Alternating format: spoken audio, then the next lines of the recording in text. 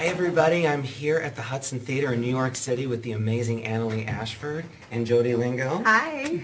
They're going to be performing at our United in Love concert event, which is benefiting the Denver Actors Fund, April 30th at the Lone Tree Arts Center. Yay, Actors Fund! Yay, Actors Fund. Can't wait to see you. We hope to see you there.